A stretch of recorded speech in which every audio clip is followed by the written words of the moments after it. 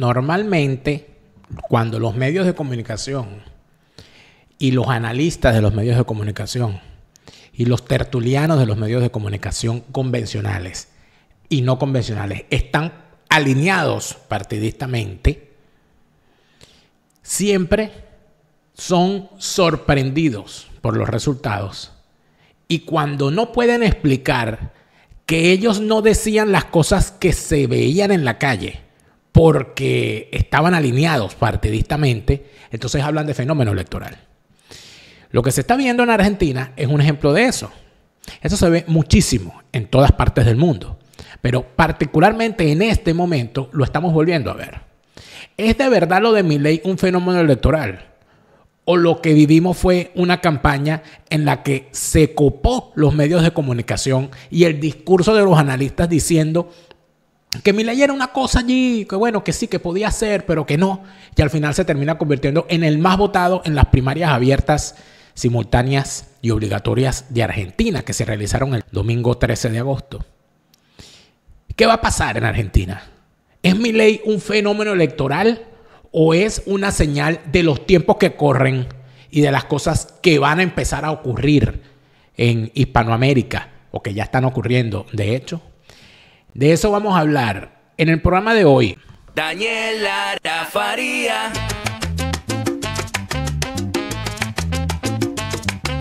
Lara, Daniel.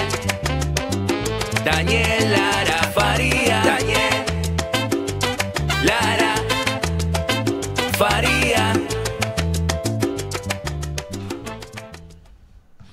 Fuera de orden, crónica de la desgracia nacional e internacional, plomería informativa, criminología y criminalística politiquera. No hay más, amigos, es lo que hay. O sea, aquí lo que hay es criminales.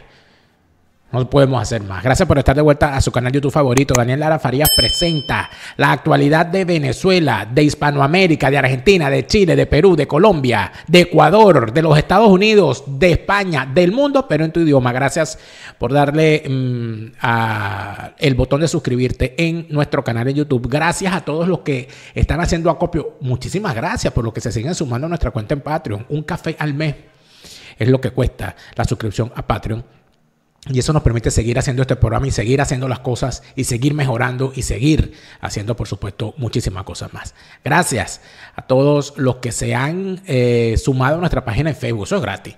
Allí puedes entrar en Facebook, puedes insultar a los chavistas, puedes, si eres chavista, entrar, dejarte ver para que te insultemos, porque a nosotros nos encanta eso. Gracias por suscribirte al canal, gracias por activar las notificaciones y gracias por compartir nuestros contenidos. Como todos los días, te saluda Daniel Lara Farías. Enemigo de todos los malos, amigo de algunos buenos. Chavista, quédate, quédate, quédate para que pases a rechera. Kirchnerista, izquierdistas del mundo, asquerosos, buenos para nada, malditos, que destruyen las economías de los países, que le rompen las piernas a la gente para después venderle la muleta y, y hacer que la gente les agradezca. Contra ustedes estamos y sobre ustedes nos defecamos. Y seguimos. esto es necesario explicarlo para los que no son de Argentina. En Argentina es obligatorio realizar unas primarias que se llaman las PASO. ¿Y por qué se llaman PASO? Porque son primarias abiertas, simultáneas y obligatorias. ¿Qué quiere decir esto? Que todos los partidos o movimientos están obligados a hacer unas primarias para escoger a su candidato. Así sea, así como el caso Milei, que era solamente él, igual la tiene que hacer. ¿Esto qué, qué significa? O qué termina convirtiéndose, en qué termina convirtiéndose esto. Y, ojo, a los señores argentinos, a los amigos argentinos, a, la, gente que nos ve de Argentina y a los argentinos que están en el mundo, a mí me parece que ese es un sistema extraordinario. Para los que dicen que en Argentina todo está mal y para los que dicen que en Hispanoamérica no se hace nada bien, ese sistema de las pasos me parece extraordinario. ¿Por qué? Porque número uno obliga a todo aquel que quiera ser candidato a contarse previamente Número dos, convierte esas primarias en una gran encuesta real. Con eso matas el negocio de, las encuestadoras fake, que lo que hacen es vender fake, y lo que hacen es convertirse en, esto. Y número tres, porque le permites a la gente también expresarse y de alguna manera decir y, y testear si la democracia está en forma o no. ¿Qué ocurre? Ocurre que podría ocurrir que en esas primarias los resultados ya dibujen quién va a ser presidente en las siguientes elecciones. En el partido peronista, tomado por esa banda criminal que es el kirchnerismo, se medían dos candidatos. En, el, en, lo que queda de la coalición que logró construir el señor Macri, se medían también dos candidatos. Mi ley de la libertad avanza no se medía con nadie. Pero ¿qué pasa? Que cuando tú vas a votar en la primaria, tú escoges un solo candidato. Por lo tanto, si tú votas por mi ley, es por mi ley que votaste, no puedes votar por los demás. De tal manera que al final el total de votos que tiene un candidato determina cuántos votos lleva él encima para la primera vuelta electoral, porque de paso hay dos vueltas electorales. Entonces es un sistema interesante que de hecho, si nos ponemos a ver, es algo que Argentina está haciendo y que si hay democracias reales y verdaderas en Hispanoamérica, debería tomarse en cuenta. El que haya unas primarias eh, eh, abiertas, simultáneas, obligatorias, donde cualquiera puede votar aunque no esté inscrito en un partido, que haya una segunda vuelta electoral, y yo sinceramente eliminaría la reelección, pero eso ya es otra discusión. Entonces, ¿a dónde vamos con esto? Vamos con esto a que, a que en efecto, cuando se hace la votación total, cuando se, cuentan los votos totales, del 100% de los votos, el que obtiene la porción más alta de ese eh, dentro de ese 100% es mi ley. Y los demás, obviamente, siempre estaba perfectamente claro, y esto es una cosa de razonamiento lógico, que si el señor Milley no se contaba con nadie dentro de su partido y los demás sí se contaban con gente dentro de su partido, era lógico que el señor Milley tenía todas las previsiones de la, de la lógica en el razonamiento para ser el más votado. El más votado dentro de esa primaria. Ser el más votado dentro de esa primaria significaba muchas cosas. ¿Por qué? Porque ser el más votado significa que simple y llanamente lograste concentrar a tu electorado. Nada más. Y si el electorado estaba disperso en tres grandes bloques, era obvio que lo lógico era que para hablar de que determinado candidato arrasa, tendría ese candidato que lograr por lo menos el 40% de los votos. Porque si está dividida la votación en tres, cada uno de ellos debería. El, el tope de la división era el 33%. 33,33. Ningún candidato alcanzó el 33% de los votos. Eso es importante decirlo porque yo creo que el, análisis se tiene que orientar. Si aquí estamos hablando de los más votados, hay que hablar de porcentaje y hay que hablar de votos para poder determinar qué es lo que va a ocurrir posteriormente. Más allá de la emocionalidad, de que está ganando el liberalismo, de que se derrotó no sé qué. Bueno, bueno, Orlando Bendaño, yo no sé, mi, amigo Orlando Bendaño, pero no, durmió y, y, Neomar tampoco durmieron, ¿no? O sea, yo no sé cuántas eyaculaciones lleva Orlando Bendaño escribiendo en Twitter. Bueno, Orlando, cálmate, guárdate un poco. Los liberal tontos y los de la derecha más derecha que a su derecha lo que tienen es una pared, porque son tan tan a la derecha que lo que tienen es una pared. Bueno, no, que aquí, no, no, aquí ya, amigo, la izquierda está gobernando en todo el continente. Vamos a, vamos, vamos aterrizar. Ni hablar de los Mario Corino, ¿no? Bueno, ya ganó mi ley, ahora viene María Corina, porque resulta ser que ahora cualquier cosa que ocurre en el mundo es por María Corina. Mataron a un candidato en Ecuador, viene por María Corina. Diosdado fue a Cuba, es por María Corina. Está lloviendo, es para ahogar a María Corina. Coño, vamos, a pensar con la cabeza. Habla el que obtuvo el mayor número de votos en las primarias, el señor Milley. Bueno, em, en primer lugar,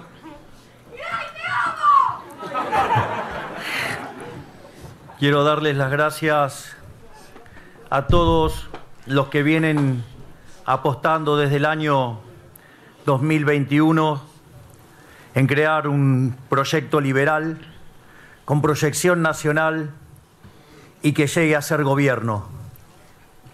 Además, también quiero darle las gracias a todos los que se fueron sumando durante el año 2002-22. Y así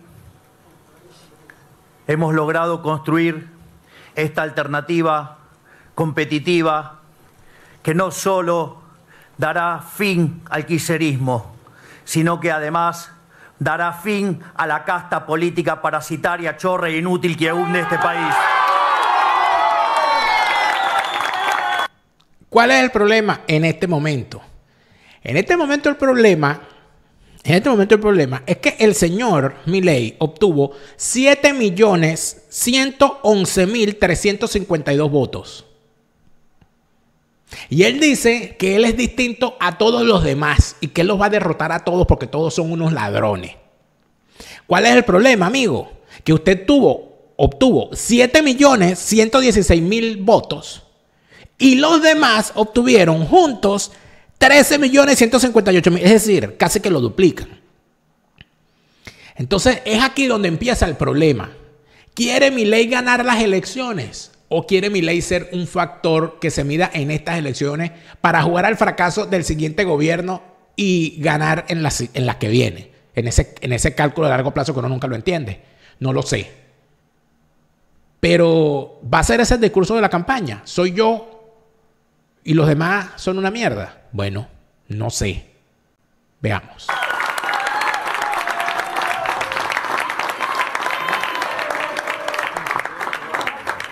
Obviamente, también deseo darle las gracias a todos los fiscales que hoy han defendido con uñas y dientes cada uno de los votos por una Argentina liberal, pese a las continuas trampas de la vieja política, la de buenos y la de malos modales. Por otra parte, también deseo darle las gracias a nuestros equipos de trabajo que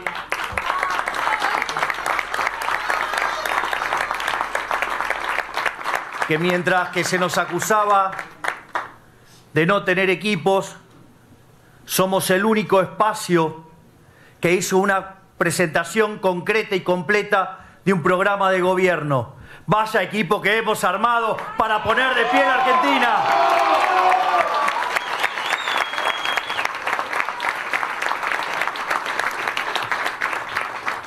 Naturalmente, también siempre es muy importante el rol de los afectos, el rol de los amigos,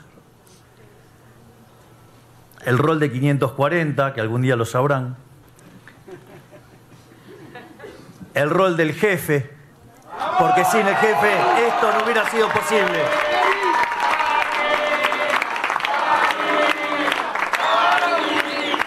Llama jefe a su hermana.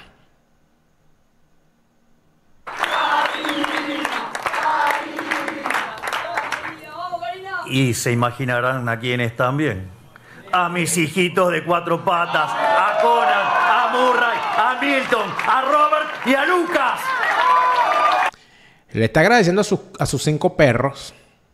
El señor Milley tiene cinco perros y dice que ese es su gabinete. Y además de eso, indica que se comunica telepáticamente con ellos. Inclusive dice que uno de sus perros, no sé, si, no sé cuál de los cinco perros que tiene, en realidad es un perro reencarnado del, del, perro que tuvo anterior con el cual él se comunica telepáticamente y ese perro le dijo que había reencarnado en el nuevo perro. Ese es el tipo, que además dice que los perros lo asesoran telepáticamente sobre economía, sobre seguridad, etc.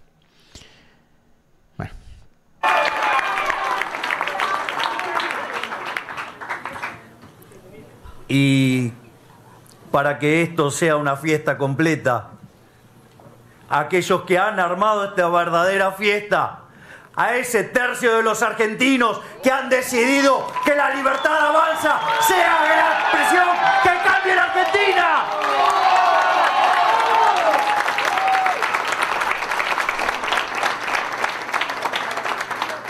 En definitiva, lo que les quiero contar es que estamos frente al fin del modelo de la casta. Ese modelo basado en esa atrocidad que dice que donde hay una necesidad nace un derecho, pero se, se olvida que ese derecho alguien lo tiene que pagar, cuya máxima expresión es esa aberración llamada la justicia social, que es injusta porque implica un trato desigual frente a la ley, pero además está precedida de un robo. ese modelo que se traduce en fuerte déficit fiscal, donde Argentina de los últimos 122 años tuvo déficit durante 112, donde además desde inicio del siglo XX Argentina tuvo 22 crisis, donde 20 son de origen fiscal, donde a veces el déficit fiscal es alto y en otras veces es obscenamente alto.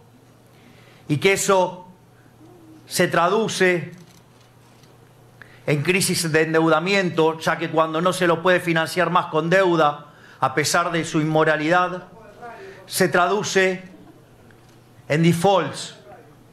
Luego recurren a la emisión monetaria. Y es así que desde que tenemos Banco Central le quitamos 13-0 a la moneda, podríamos quitarles tres más próximamente. Tuvimos dos hiperinflaciones sin guerra.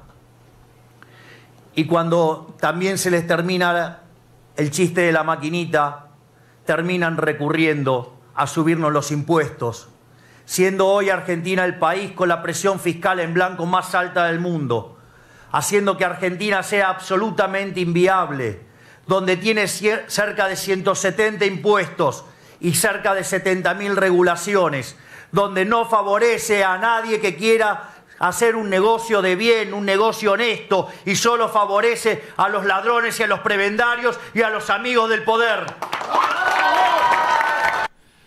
Lo que ha dicho mi ley allí, no solamente es verdad en Argentina, amigos míos, es verdad en toda Hispanoamérica. Y cuidado si también en España. ¿Cuál es el problema? El problema es que está diciendo una verdad. Lo que no sabemos es si las soluciones que está planteando sean aplicables en el contexto argentino.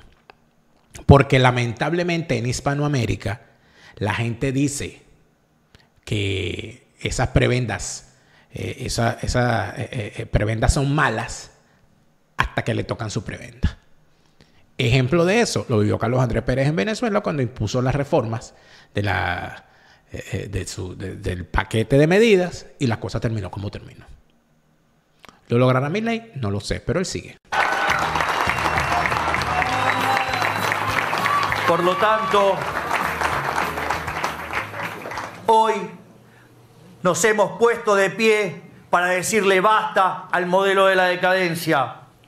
Hoy dimos el primer paso para la reconstrucción de la Argentina. Lo que está haciendo mi ley, además de eso, por eso es que yo no entiendo por qué dicen que, es un fenómeno electoral, pero si es previsible, si el propio gobierno kirchnerita le está haciendo la, está haciendo la campaña con las medidas económicas que han llevado el dólar, bueno, la disparada del dólar que tuvo en los últimos días fue una cosa horrorosa, pero es que además de eso, el que ha llevado esas medidas y ha causado esos problemas es el candidato del gobierno. ¿Cómo no va a ganar el tipo? Además de eso, le está hablando a la gente de una cosa básica, del bolsillo. Del bolsillo. Se suscribe a mi cuenta en Patreon. Todos los lunes y todos los viernes le llega una carta cifrada exclusiva para suscriptores del plan Full, donde hacemos un análisis con los datos que recibimos de distintas fuentes, por supuesto, verificando y haciendo la labor del análisis y del establecimiento de escenarios y la ponemos a su disposición. Exclusiva para suscriptores del plan Full en mi cuenta en Patreon. Lo de Selva Montgomery es bueno, una cosa espectacular, porque Selva Montgomery no solamente es, no es una realtor cualquiera, no es una agente inmobiliaria cualquiera. Es una persona que se sienta con el interesado en comprar una casa y le explica que comprar una casa es mucho más que tener un hogar, es una inversión que puede ayudarle a tu familia a futuro, más de lo que tú lo crees. Selva Montgomery es tu agente inmobiliario de confianza, tu realtor de confianza en los Estados Unidos, en todo el territorio de los Estados Unidos. Confía en Selva Montgomery y entiende que el sueño americano se construye con la casa de tus sueños y esa casa de tus sueños, la llave la tiene Sebla Montgomery. Si se trata de estar en España, en España con todas las de la ley, vamos a tratar esta semana, vamos a ver si, bueno, las ocupaciones tienen muchísimo trabajo, la gente del bufete Hispanidad, abogados y asesores, vamos a tratar de conversar con ellos sobre lo que significa el, eh, el, tema de la extranjería y el manejo de la migración a España de forma segura. No te dejes engañar, no caigas en locura. En España, con todas las de la ley, necesitas tener un abogado que te permita superar todos tus procesos migratorios con orden. Y después que lo superes, también necesitas ponerte al día. Necesitas ponerte al día con el tema de la identidad y con el tema de los impuestos. Todo eso lo tiene Hispanidad Abogados y Asesores. En España, amigos, con todas las de la ley. Y si se trata de buscar un destino adicional, yo siento el llamado de la gaita escocesa. Ah, Dios mío. Hablemos de Escocia en castellano. Todos los secretos de Escocia en tu idioma los tiene Hablemos de Escocia en castellano. Un destino nuevo. Dice, pero Escocia, sí, no lo habías escuchado. Bueno, pero puedes ir a Escocia y descubrir que ese whisky escocés que te tomas lo hacen allí. Que los misterios del lago Ness con el monstruo, ¿será verdad que hay un monstruo allí? Te lo enseñan. Las maravillas de Edimburgo, la maravilla del balneario de Balmoral, favorito de la reina Isabel, todas esas cosas las quiero conocer. Espero ir pronto a Escocia y que me lo cuenten en mi idioma. Hablemos de Escocia en castellano, lo hace posible. Mentira cochina, asquerosa y rastrera, eso de que el chavismo era bueno hasta que Chávez se murió y después que se murió Chávez es que Maduro lo echó a perder. No, amigos. No. Carelis Busto demuestra que eso es una mentira asquerosa, cochina y rastrera, porque el chavismo fue malo desde el origen y es malo en el transcurso. Y lo que recibe Nicolás, como lo cuenta Carelis Bustos, es la herencia de un chofer. Venezuela es la herencia de un chofer, pero la destruyó Chávez y se la dejó a ese chofer para que terminara de llevar por el despeñadero. Eso lo cuenta Carelis Busto en su libro Venezuela la herencia de un chofer. El libro Venezuela la herencia de un chofer se encuentra a la venta a nivel mundial en Amazon. No hay manera alguna de decir que la historia en Argentina se haya terminado. Más bien, el tema electoral ahora es que comienza. Se lo repite, Lara Farías, siente alegría, escucha bien lo que te estoy diciendo, te lo repite, Nara Farías, Chávez está en el infierno.